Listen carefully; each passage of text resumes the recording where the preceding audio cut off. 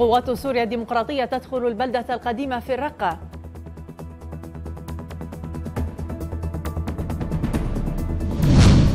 داعش محاصر في الموصل ومعارك شرسة في شوارع المدينة.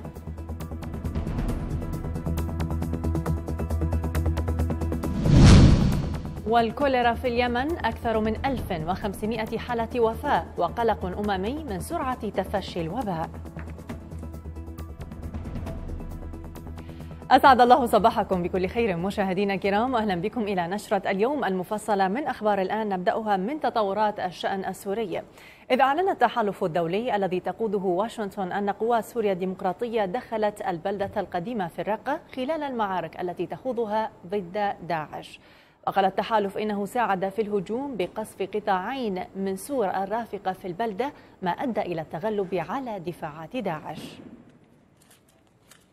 بعد ساعات من تمكن قوات سوريا الديمقراطية من دخول مدينة الرقة معقل تنظيم داعش الإرهابي دارت اشتباكات عنيفة في المناطق الجنوبية من المدينة بين القوات الديمقراطية وتنظيم داعش الإرهابي. وتمركزت الاشتباكات هذه بين غرب سوق الهال وشرق حي هشام بن عبد الملك في القسم الجنوبي من مدينة الرقة بمحاذاة الضفاف الشمالية لنهر الفرات كما تواصل قوات سوريا الديمقراطية التي تقود عملية تحرير المدينة بدعم من التحالف الدولي تحقيق تقدم جديد والتوغل نحو عمق مدينة الرقة.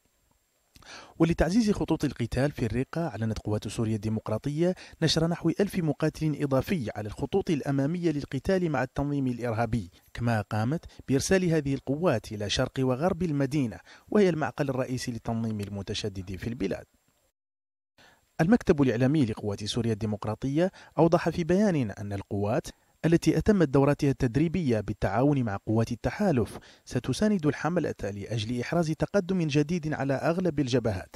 تزامنا مع تضييق قوات سوريا الديمقراطية الخناقة خلال الأشهر الأخيرة على معقل داعش في شمال سوريا ودخولها للجانب الشرقي والغربي للمدينة ولأول مرة في الشهر الماضي. من جهته قال المتحدث باسم قوات النخبة السورية محمد خالد شاكر أن القوات تبعد حاليا 100 متر فقط عن باب بغداد في المدينة القديمة وتقوم بتمشيط المنطقة لردم الأنفاق ومنع أي تسلل جديد لمسلحي التنظيم المتطرف. إلى ذلك شنت طائرات قوات الأسد ضربات جوية بثمانية براميل متفجرة تحتوي على مادة النابالم الحارقة مستهدفة أحياء درعا المحررة وقال مراسلنا إن القصف شمل مبنى الدفاع المدني والمشفى الميداني في مدينة الحراك شرقي درعا. إلى العراق حيث تواجه القوات الأمنية العراقية قتالا شرسا في الشوارع المتبقية تحت احتلال مسلحي داعش من مدينة الموصل القديمة شمالي البلاد.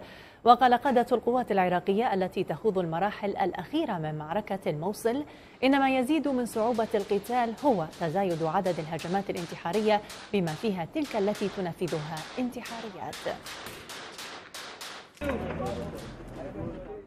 بعد أكثر من ثمانية أشهر على انطلاق أكبر عملية عسكرية يشهدها العراق لاستعادة مدينة الموصل من تنظيم داعش بات التنظيم محاصرا داخل مساحة صغيرة في المدينة القديمة بعدما كان يحتل أراض واسعة منذ سنة 2014 القوات العراقية سجلت تقدما جديدا في المدينة القديمة إلا أن وقت انتهاء المعارك لم يحدد بعد. وعلى الرغم من أن المنطقة التي لا يزال يحتلها داعش صغيرة جدا فإن ضيق أزقتها وشوارعها ووجود مدنيين بداخلها يجعل العملية العسكرية محفوفة بالمخاطر. أكملت الشرطة الاتحادية واجبها لم يتبقى إلى تطهير المناطق المحررة. يوم أمس الساعة 1900 أكملت واجبها.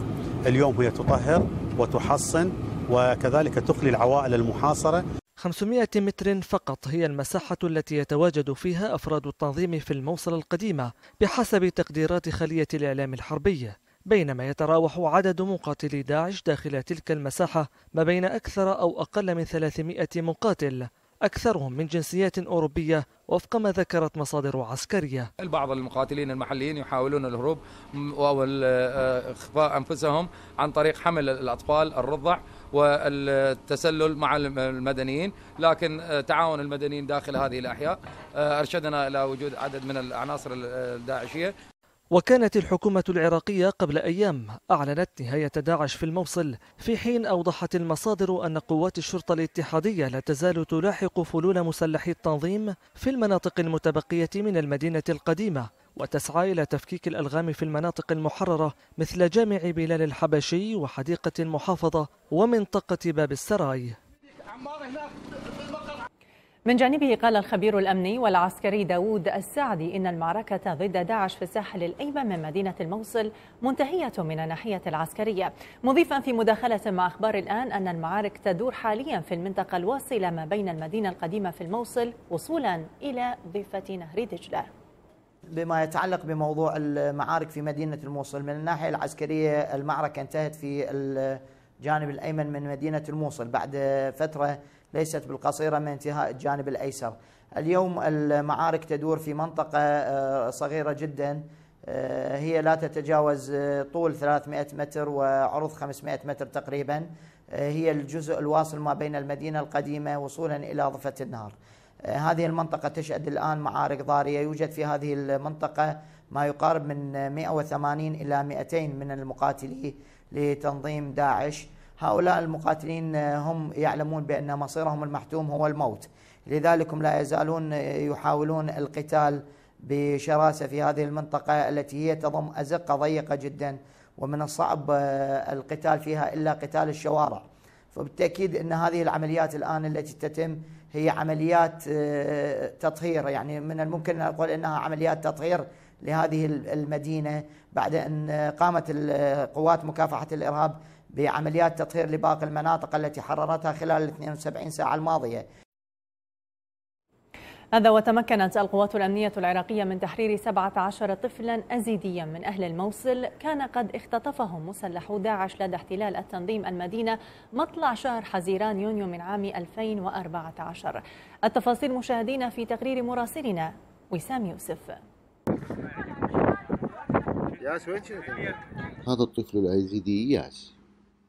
أو هكذا يسمي هو نفسه. حصلت عليه القوات الأمنية العراقية برفقة 17 طفلا آخر في إحدى البنايات التابعة للمجمع الطبي في حي الشفاء شمالي الموصل القديمة. حيث كان داعش اختطفهم من دويهم بعد احتلاله الموصل. تم العثور يوم أمس أو أول أمس على 17 طفل آه، كانوا في دار الأيتام. الأطفال خمسة تعرفوا عليهم ذويهم واستلموهم البارحة باقين عندنا الآن 12 طفل. آه، في حال عدم العثور على ذويهم سيتم نقلهم إلى بغداد وإيداعهم إلى دار رعاية الطفولة التابع إلى وزارة العمل والشؤون الاجتماعية. كل طفل من هؤلاء الأطفال يحمل قصة مختلفة ولكن مقاتلي داعش جمعوهم في بناية واحدة لعدة سنوات. حيث لا زال تأثير الأفكار التي تلقوها من مسلحي التنظيم يظهر عليهم إذ وصف جون شقيقه في أول لقاء بينهما بالكافر إيش كان يقولوا لك؟ وش ما يقولون؟ إيش كان يعلموك شو يقولوا لك؟ كل شيء ما يعلمون لك كل شيء ما يعلمون أنت شو تعلمت منهم؟ كل شيء سلام شو دروا الأطفال تركوا هنا في هذه الخيمة لليوم الثاني بانتظار التعرف على ذويهم حيث تعاونوا فيما بينهم أثناء لهوهم لبناء بيت من المكعبات. وأخذ كل واحد منهم يختار غرفة له في هذا البيت. طبعا آه، ونظرا لعدم توفر مأوى ورعاية الأيتام آه، طبعا يشغلها الدوائر. نحن قررنا أن تكون هناك رعاية لهؤلاء الأطفال ومن ثم تحويلهم إلى بغداد. طبعا بالاتفاق مع مدير عام ذوي الاحتياجات الخاصة والأيتام لغرض توفير مكان آمن ومكان فيه الراحة النفسية وأيضا من ثم متابعة حالة الطفل لأنه تحت آه، تنظيم داعش الإرهابي لمدة ثلاث سنوات. الطفل جون كان أول المغادرين من المجموعة مع ذويه بعد أن تعرفوا عليه. أما الأطفال المتبقون فلا زالوا بانتظار أهاليهم. لكن دموع ياس الذي تصور أنه سيغادر معنا إلى البيت جعلت أخبار الآن تتواصل مع بعض الأصدقاء إلى أن عثرنا على عمه وهو الشخص الوحيد المتبقي من عائلته على قيد الحياة. إلى فرنسا حيث أطلق مسلح كان يركب دراجة نارية على حشد من الأشخاص فقتل واحدا وأصاب ستة آخرين بجروح في مدينة تولوز جنوب غربي فرنسا ثم فر هاربا. وأكدت الشرطة أنها لا تستبعد الدافع الإرهابي وراء الحادث إلا أنها قالت إنها تعتقد أن الهجوم ربما كان جريمة قتل بدافع الانتقام. إلى الولايات المتحدة الأمريكية حيث جرح عشرة أشخاص على الأقل إثر دعس سيارة أجرة لعدد من المرة في مدينة بوسطن الأمريكية. وقالت الشرطة إنها تجري تحقيقا مع السائق وتتعامل مع الموضوع على أنه حادث سير لا علاقة له بالإرهاب. نشرتنا مستمرة مشاهدينا وفيها بعد فاصل قصير.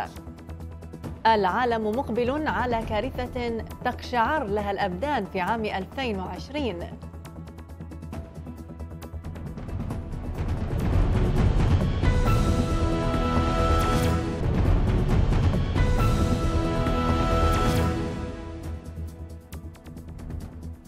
أحييكم من جديد. يشهد اليمن ازديادا لأعداد الوفيات بسبب تفشي الكوليرا وسرعة انتشاره. إذ أعربت منظمة الأمم المتحدة للطفولة يونيسف عن مخاوفها من أن تتجاوز الإصابات بهذا الوباء 300 ألف حالة.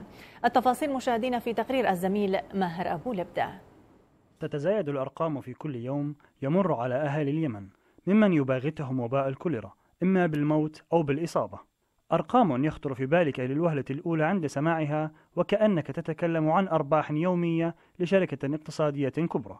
حالات إصابة ووفيات متزايدة تجمع في أرقام مهولة. ومع دعوات الهيئات والمنظمات الدولية والأممية لمحاولة حصار المرض والحد من انتشاره وخطابات التحذير من وصول الوضع في اليمن إلى قدر لا يمكن السيطرة عليه تقدم دول خليجية مساعدات مادية وعينية بالإضافة للأدوية لمحاولة السيطرة على سرعة انتشار المرض ولكن الأرقام في ازدياد مستمر وحالات الإصابة من سيء إلى أسوأ. حيث بدأ تفشي وباء الكوليرا في اليمن في تشرين الأول أكتوبر 2016 ليعود مرة أخرى ويضرب في 2017 وفي عشرة محافظات يمنية والسبب هنا يعود إلى تعطل أكثر من نصف المنشآت الصحية في البلاد عن العمل. إذ استحوذت العاصمة صنعاء على النصيب الأكبر من الإصابات بالكوليرا بما يقارب 34% من الحالات. وخلال الفترة ما بين 26 من إبريل والثامن عشر من مايو 2017 وبنطاق واسع وسريع انتشر المرض إلى حوالي 20 محافظة والذي تسبب ب 246 ألف حالة اشتباه بإصابتهم بالمرض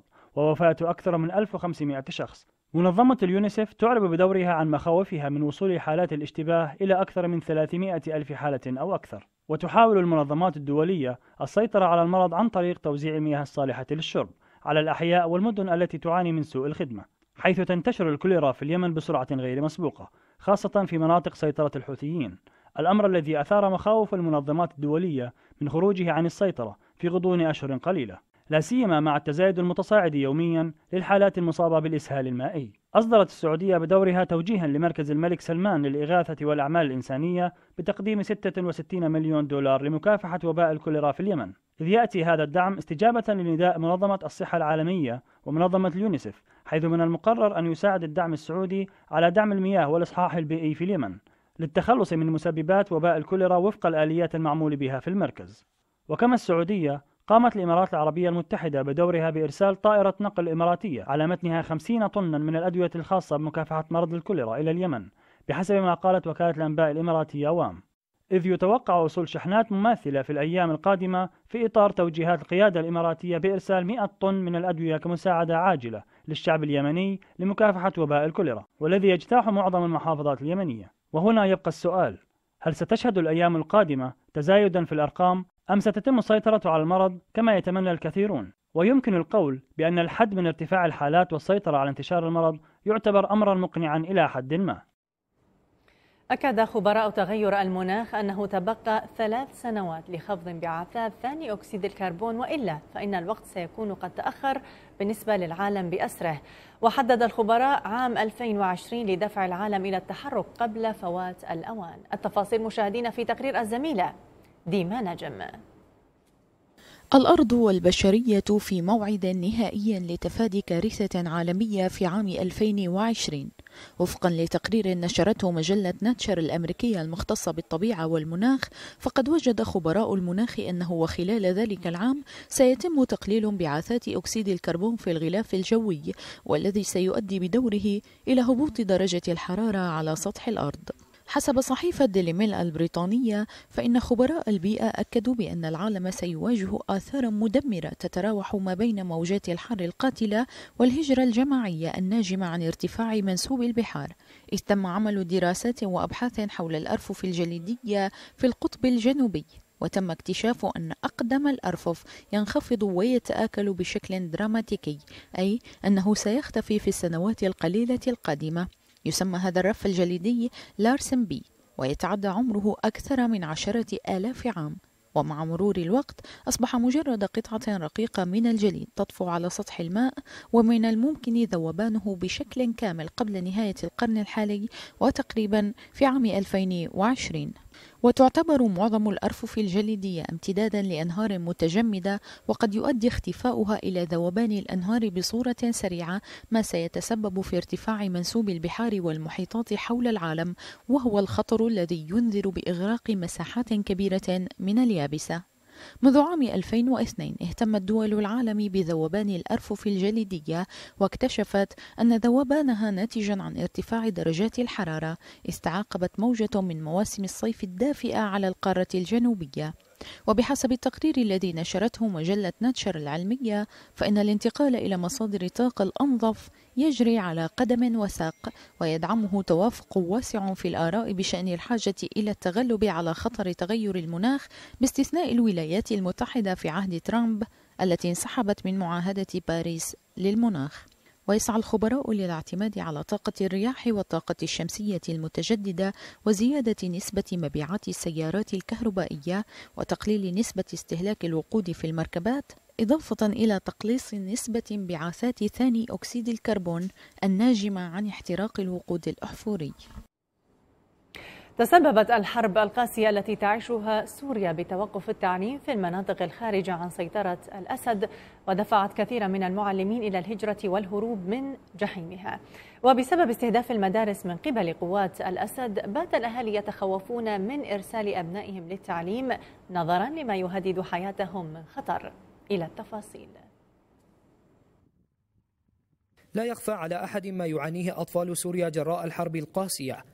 التي تعيشها البلاد منذ ست سنوات. فالفترة المذكورة هبطت بالمستوى العلمي للبلاد إلى الحد الأدنى بعدما كانت تملك واحدا من أعلى معدلات الالتحاق بالمدارس الابتدائية في الوطن العربي قبل 2011 ولعل تدمير المدارس وقتل بعض كوادرها وهجرة بعض المعلمين من أهم الأسباب التي انعكست على جيل الأطفال من عمر ست سنوات إلى سن ثالثة عشر وكانت كفيلة بوأد أحلام وحقوق الأطفال بالتعلم. نحن في عنا مدرسة أنا أعمل مدير هذه المدرسة. في عنا عدد تلاميذ 310 طلاب الموجودين في المدرسة. طبعا فيهم عدد كبير حوالي 50 أو 60 طالب أو بجوز يتجاوز أكثر. هدول منقطعين عن التعليم بشكل كامل. في إحدى قرى جبل الزاوية التقينا بأسرة الطفل بشير. الذي فقد ذراعه اليمنى بقصف جوي لدى عودته من المدرسة فتركت تلك الحادثة أثرا نفسيا على بشير وأسرته التي تعاني من الحالة التي وصل إليها إذ تنتابه اختلاجات ليلية فضلا عن عدم قدرته على النطق بشكل سليم وهذا ما دفع والده للاستعاضة عن المدرسة بتعليمه في المنزل.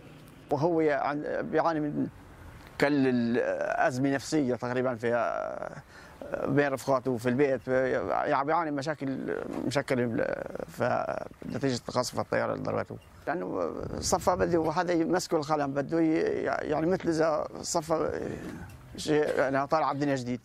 أما أبو أمجد فقد قرر عدم إرسال ابنه إلى المدرسة خوفا من القصف الذي يطال المدارس باستمرار.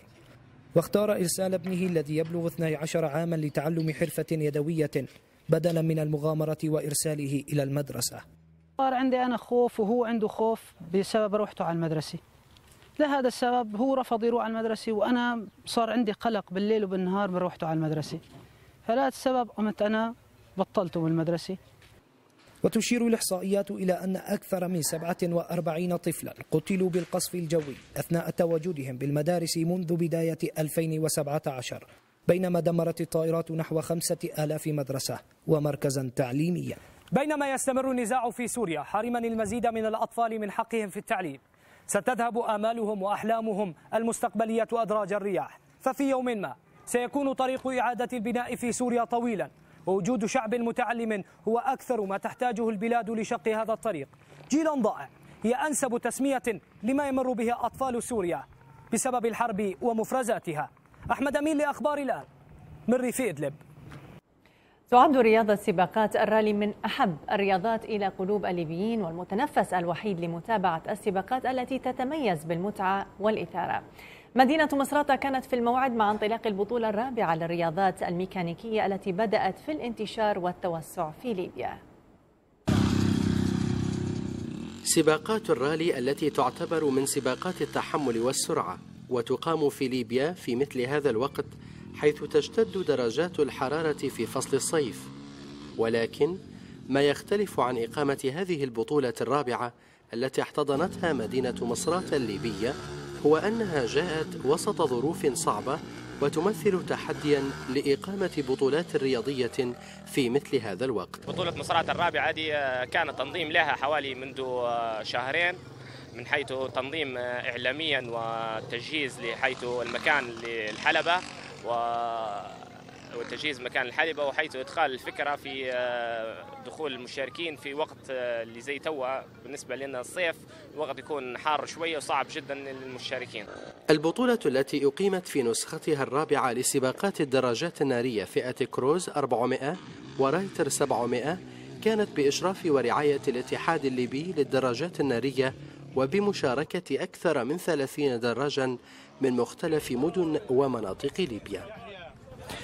آه مسابقة من مسابقة لمسابقه ونطلعوا برا قديش مرة حتى برا مصراتها مسابقين وكل شيء 100 100 امور طيبه وكل مرة مجهود من كل المسابقات اللي فاتت مجهود المسابقات دي مجهود وكل شيء ماشي الأمور لحد الآن 100 100 الحمد لله. هي شبيبة واجدين يتبعوا فيها حتى مش من مصراتها بس من كل أنحاء ليبيا شباب صغار وكبار.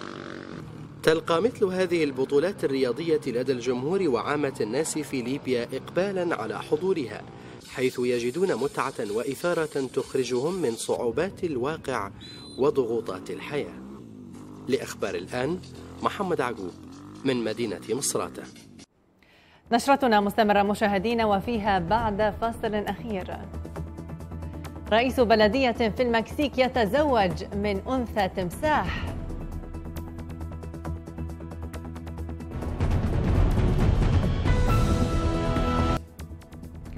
أحييكم من جديد مشاهدينا ونتحول وإياكم إلى مختاراتنا من الصحافة العربية لهذا اليوم.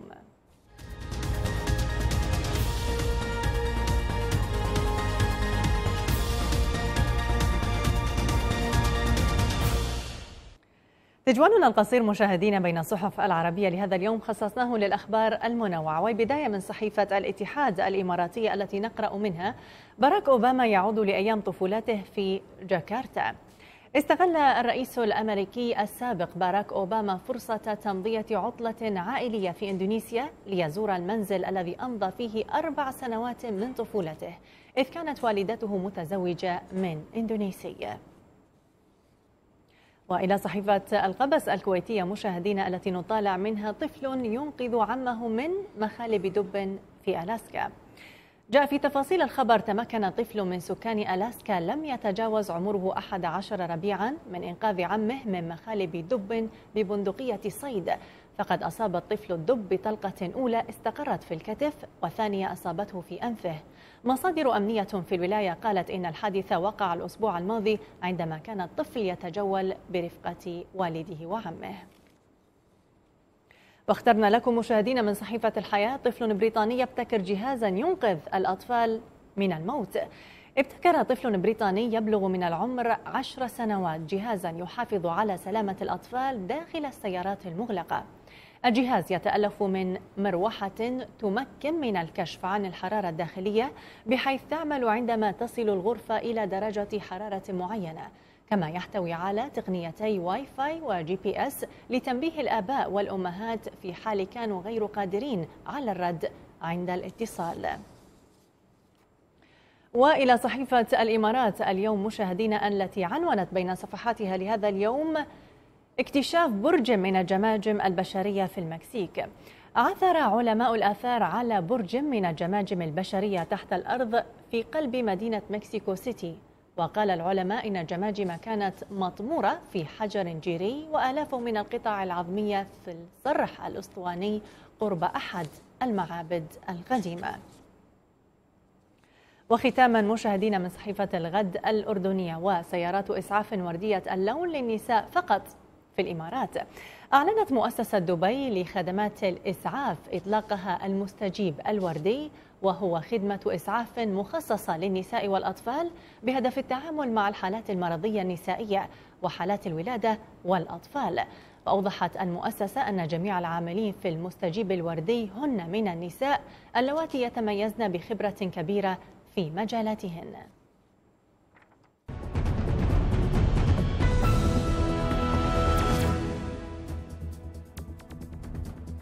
في أخبارنا الرياضية مشاهدين وفي عالم التنس تحديدا استهل المصنف الأول عالميا أندي موراي حملة الدفاع عن اللقب بفوز سهل على الكازاخي ألكسندر بابليك بثلاث مجموعات من دون مقابل.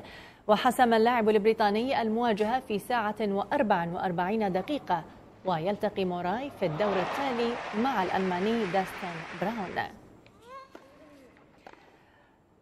أيضا في التنس خرج المصنف الخامس عالميا السويسري ستانيسلاس فافرينكا من الدور الأول من بطولة ويمبلدون للتنس بخسارته أمام الروسي دانيال مادفيديف بثلاث مجموعات لواحدة بواقع 6-4 3-6 6-4 و6-1 وهي المرة السادسة التي يودع فيها فافرينكا بطولة ويمبلدون من الدور الأول.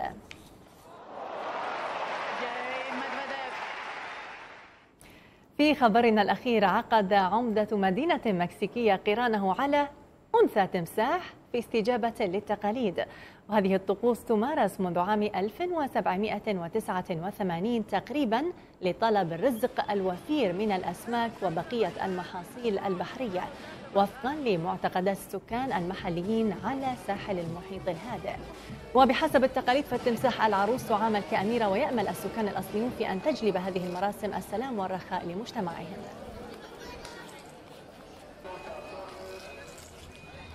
وقبل ختام النشرة مشاهدينا هذا تذكير بما جاء فيها من عناوين. قوات سوريا الديمقراطية تدخل البلدة القديمة في الرقة.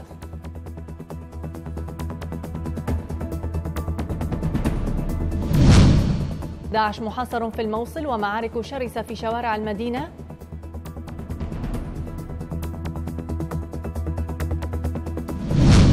والكوليرا في اليمن أكثر من 1500 حالة وفاة وقلق أممي من سرعة تفشي الوباء. بهذا إذا مشاهدينا نكون قد وصلنا وإياكم إلى ختام نشرتنا دائما لمزيد من الأخبار. يمكنكم متابعتنا على موقعنا الإلكتروني والتواصل معنا عبر مواقع فيسبوك وتويتر ويمكنكم أيضا متابعة بثنا المباشر في ذات الموقع.